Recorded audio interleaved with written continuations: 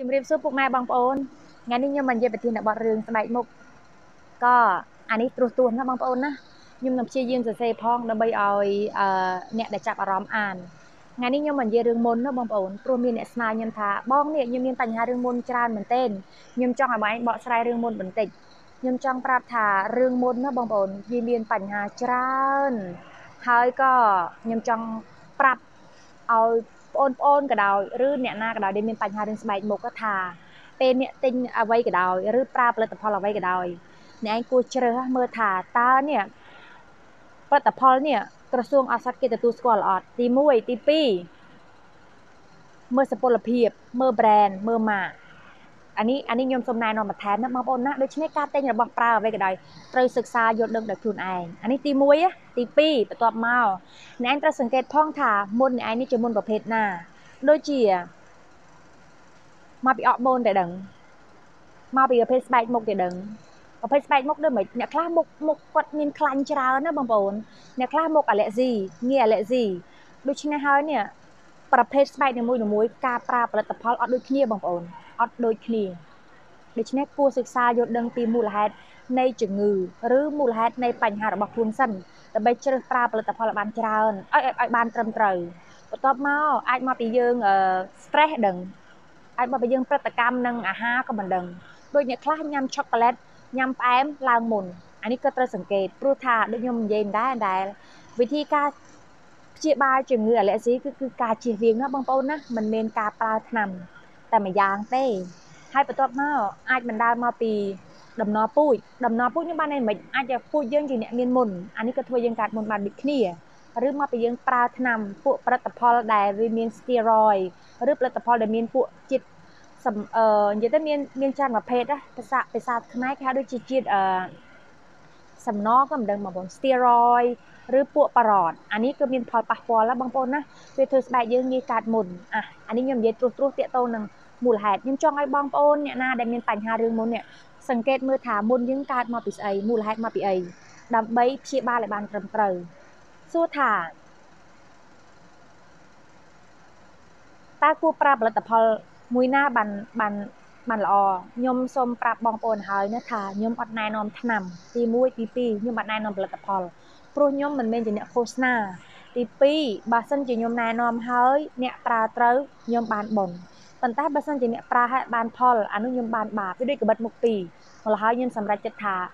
គុំសួរខ្ញុំដាច់ខាតតែខ្ញុំគាត់ណែនាំថាផលិតផលស្រុកខ្មែរយើងវាអាចតែមានជំរឿអត់សូវច្រើនប៉ុន្តែដូចស្រុកថៃជំរឿច្រើនមែនទែនផលិតផលសាស្បែកបងប្អូនច្រើនមែនទែនហើយដូចជាខ្ញុំ មុខខ្ញុំអត់ដែលប្រើផលិតផលថ្លៃណាបងប្អូនអត់ដែលប្រើផលិតផលថ្លៃសោះខ្ញុំប្រើតែលេកញ្ចប់ហ្នឹងលេកញ្ចប់នៅតាម7មានលក់ដូចជាកាលពីក្មេងខ្ញុំប្រើពួកអូឡេអានេះរបស់ខ្ញុំណាព្រោះមុខស្បែកមុខខ្ញុំគឺខ្ញុំនិយាយទៅគឺស្បែកមុខថោកបងប្អូនស្បែកមុខថោកបានន័យថាម៉េចគឺប្រើផលិតផលថោកថោកគឺអាចអាចប្រើការបានតែដូចមិត្តភក្តិខ្ញុំផលិតផលគេហៅមុខថ្លៃប្រើរបស់ថោកអត់បានទេកទួលហាក់កទួលឬអាឡែស៊ី តែសម្រាប់ខ្ញុំមុខខ្ញុំប្រើអីក៏បានអាសួរថាមុនមានប្រមាណប្រភេទមុនមានពីរប្រភេទណាបងប្អូនណាការកើតមុនវាកើតដោយសារតែយើងមានរុនញើសបងប្អូនអ្នកខ្លះមានរុនញើសវា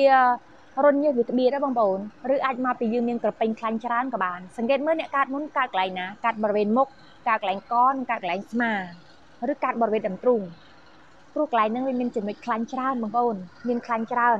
ម្ល៉េះហើយនេះបងប្អូនសង្កេតមើលថាមុនកាត់កន្លែងណាអ្នកខ្លះកាត់ដោយសារដំណពូជកាត់ដំណពូជនេះខ្ញុំគិតថាវិធីនេះអាចកែបញ្ហាបានណាបងប្អូនណាតែសំខាន់ទៅសង្កេតផងថាមុននេះកើតពេលណាអ្នកខ្លះ stress stress stress កើតដូច្នេះវិធីការកែបញ្ហាខ្ញុំអត់មានអីណែនាំឲ្យច្រើនទេបងប្អូនគឺយើងត្រូវរកដំណោះស្រាយដោយខ្លួនឯងទី2ផលិតផលដែលប្រើគួរដែលអាចជឿជាក់បាន ហើយមានក្រសួងវិទ្យាសាស្ត្រឬក្រសួងឱសថទទួលស្គាល់ទី3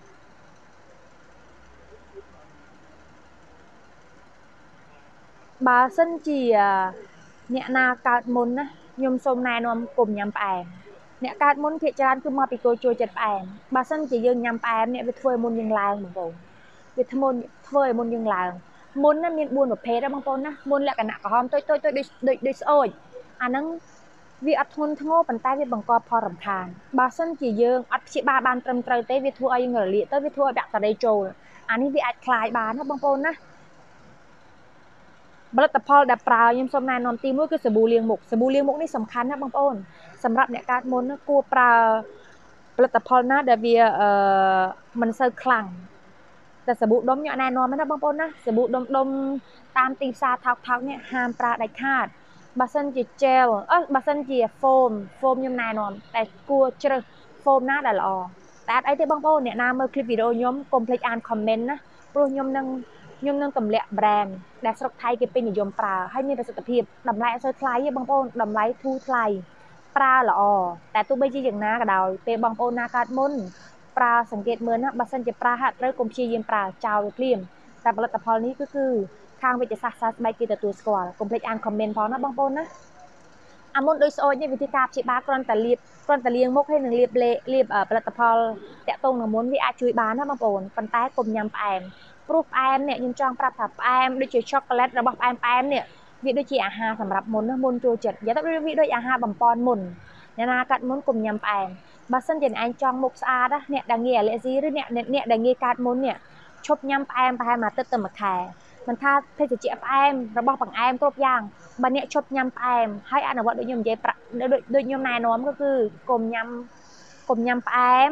លាងមុខឲ្យស្អាតលាបផលិតផលបានត្រឹមត្រូវតែប៉ុណ្ណេះអាចជួយបានណាបងប្អូនក៏ប៉ុន្តែបើសិនជាអ្នកណាលក្ខណៈដូចជាមានមុនបាធំធំមានខ្ទុះអានេះអាចចាំបាច់ទៅជួបពេទ្យព្រោះតាមធម្មតាបើសិនជាវាមានខ្ទុះឬក្បាលធំដូចក្បាលតម្រៃនេះដូចដូចបោសនេះ អានេះជួបពេទ្យពេទ្យគេនឹងជួសហើយឲ្យអាចឲ្យថ្នាំលាបពួក steroid អាពួកផលិតផល steroid នេះតាមធម្មតាយើងមិនគួរប្រើលើស7ថ្ងៃទេបងប្អូនណាមិនគួរប្រើលើស7ថ្ងៃព្រោះមិនមិនដូច្នោះទេវាធ្វើស្បែកមុខយើងស៊ាំបានហើយការប្រើថ្នាំផ្សះនេះកុំបីប្រើផ្ដេសដាស់ដោយខ្លួនឯងគួរប្រើតាមវិជ្ជាបញ្ជាតែដូចខ្ញុំនិយាយអញ្ចឹងអ្នកណាកើតមុនប្រើផលិតផលត្រឹមត្រូវអនុវត្តត្រឹមត្រូវវានឹងមិនវិវត្តទៅដល់ដំណាក់កាល ធន់ធ្ងន់ហើយមិនចាំបាច់ដល់ថ្នាក់ញ៉ាំថ្នាំថ្នាំសះកុំបីញ៉ាំផ្ដេសផ្ដាស់ណាបងប្អូនវាអាចធ្វើយើងស៊ាំថ្នាំបានអ្នកញ៉ាំអ្នកញ៉ាំថ្នាំសះខ្ញុំសុំទឿនម្យ៉ាងទៀតអ្នកខ្លះធ្លាក់សញ៉ាំថ្នាំអ្នកខ្លះកើតជំងឺនេះញ៉ាំថ្នាំផ្សះអ្នកខ្លះគាត់តែផ្ដាសាយក៏ញ៉ាំថ្នាំផ្សះការដែលយើងញ៉ាំថ្នាំផ្សះផ្ដេសផ្ដាស់ហ่าបងប្អូនវាធ្វើឲ្យ lactobacillus ក្នុងពោះវៀនធំយើងស្លាប់អស់លីងដូច្នេះអ្នកដែលញ៉ាំថ្នាំផ្សះញឹកញយទី1ស៊ាំថ្នាំទី2ប្រព័ន្ធលេហាធ្វើការអត់ប្រក្រតីយើងខ្សោយ ព្រោះអី lactobacillus វាជាបាក់តេរីល្អក្នុងការជួយរំលាយអាហារដូច្នេះហើយខ្ញុំសូមទឿនបងប្អូនថាកុំបីញ៉ាំថ្នាំផ្សះផ្ដេសផ្ដាស់យើងឈឺល្មមល្មមដូចយកឧទាហរណ៍ថាខ្ញុំចោះបើសិនតែខ្ញុំផ្ដាសាយខ្ញុំផ្ដាសាយពេលណាខ្ញុំគ្រុនពេលណាដោយសារតែខ្ញុំសម្រាកគ្រប់គ្រាន់ដោយសារតែខ្ញុំ stress ដោយសារខ្ញុំគេងអឺគេងយប់ជ្រៅពេកដូច្នេះវិធីការកែបញ្ហាញ៉ាំទឹកឲ្យច្រើនច្រើនជាពិសេសទឹកអ៊ុនអ៊ុនទី2ហាត់ប្រាណទី3ក៏សម្រានតែ ប៉ុណ្ណេះ2 3ថ្ងៃរាងកាយនឹង recover ដោយខ្លួនឯងភ្លាមអត់ចាំបាច់ប្រើថ្នាំទេបងប្អូនអ្នកណាអាសាក្អកខ្ញុំសែនសូមណែនាំថាក្រូចឆ្មាក្តីទឹកឃ្មុំក្តីឆុងឲ្យផឹកអ៊ុនអ៊ុនជួយបានដោយមិនចាំបាច់ប្រើថ្នាំគុំគ្រប់យ៉ាងប្រើថ្នាំណាបងប្អូនហើយខ្ញុំក៏សូមអំពាវនាវម្ដងទៀតថាបងប្អូនណាគួរតែហាត់សិក្សារកចំណេះដឹងដោយខ្លួនឯងតាមរយៈ Google ឬ YouTube បានហើយ ជាពិសេស Google ព្រោះ Google នេះវាមានចំណេះដឹងលក្ខណៈ worldwide បងប្អូន AI និង algorithm វាជួយវាជួយអានឲ្យយើងភ្លាមហើយបើអ្នកណាចេះភាសាអង់គ្លេសតែខ្ញុំដូចខ្ញុំនិយាយដែរបងប្អូនយើងចេះភាសាអង់គ្លេសច្រើនណា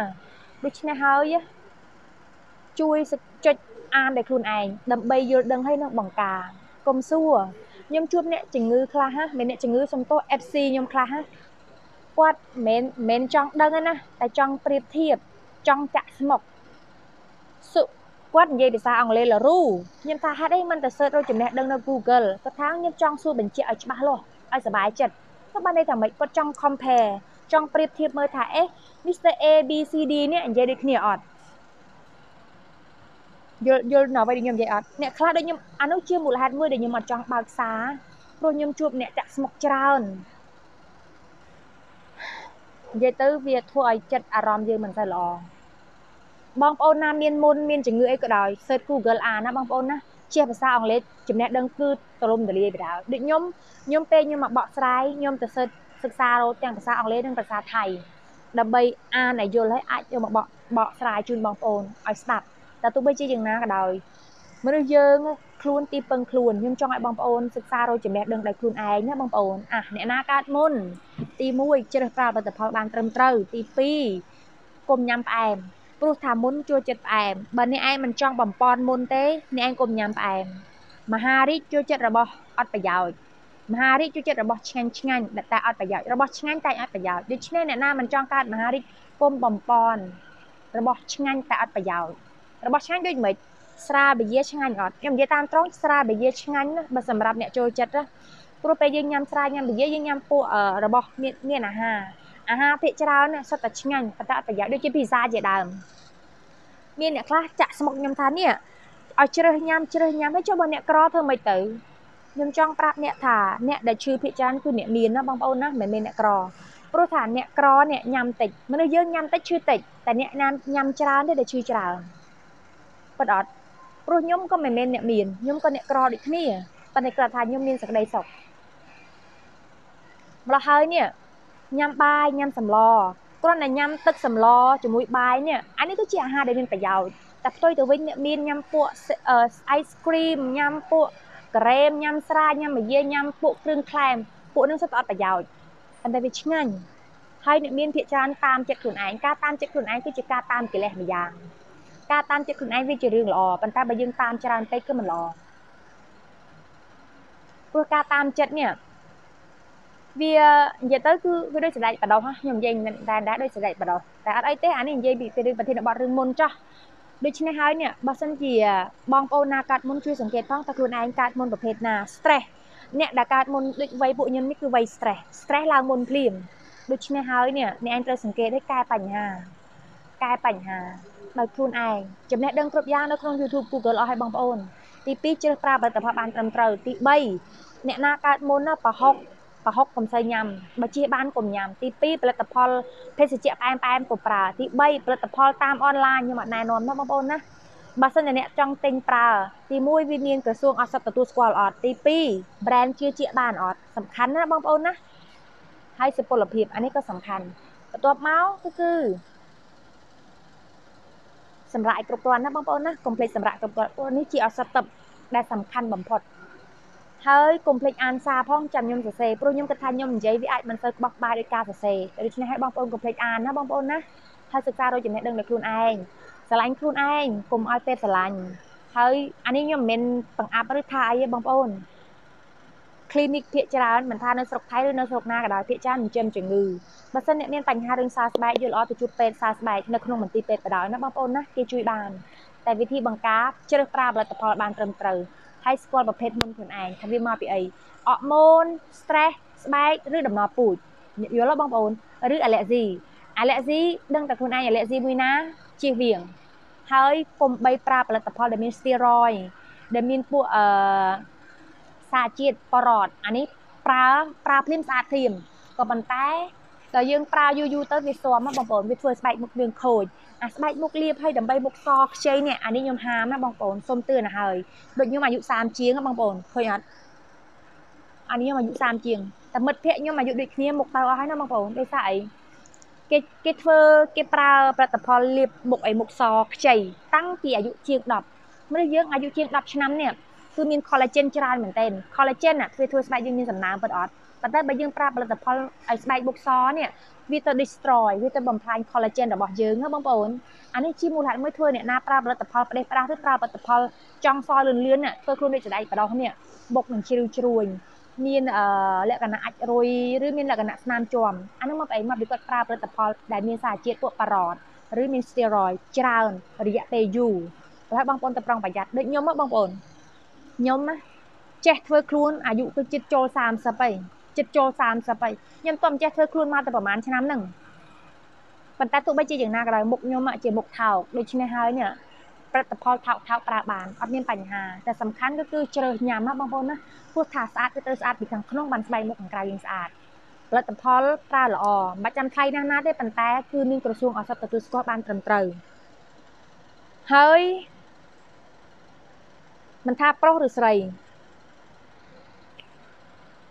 ការធ្វើខ្លួនសំខាន់ណាចាស់ដូច្នេះហើយនេះយើងត្រូវឲ្យតម្លៃខ្លួនឯងដោយការធ្វើខ្លួនឲ្យបានត្រឹមត្រូវឲ្យស្អាតមនុស្សយើងគេឲ្យតម្លៃទៅលើស្បែកមុខម្ល៉េះហើយខ្ញុំមិនថាប្រុសក៏ដោយស្រីក៏ដោយទី1លាងមុខឲ្យស្អាតទី2ក្រោយពីលាងមុខហើយកុំភ្លេចលាបសំណើមទី3ក្រោកព្រលឹមឡើងពេលយើងចេញមកក្រៅនេះគឺគួរលាបសំណើមការពារកម្ដៅថ្ងៃហើយបើលាបម្សៅ ការពារកម្ដៅថ្ងៃខ្ញុំសូមណែនាំឲ្យយកអា50ដឺក្រេឡើងទៅណាបងប្អូនណាយកអាម៉ាក់ល្អបន្តិចថ្លៃបន្តិចដើម្បីអីព្រោះមុខយើងបើសិនជាខូចហើយព្យាបាលថ្លៃបងប្អូនជួសជុលថ្លៃមែនទែន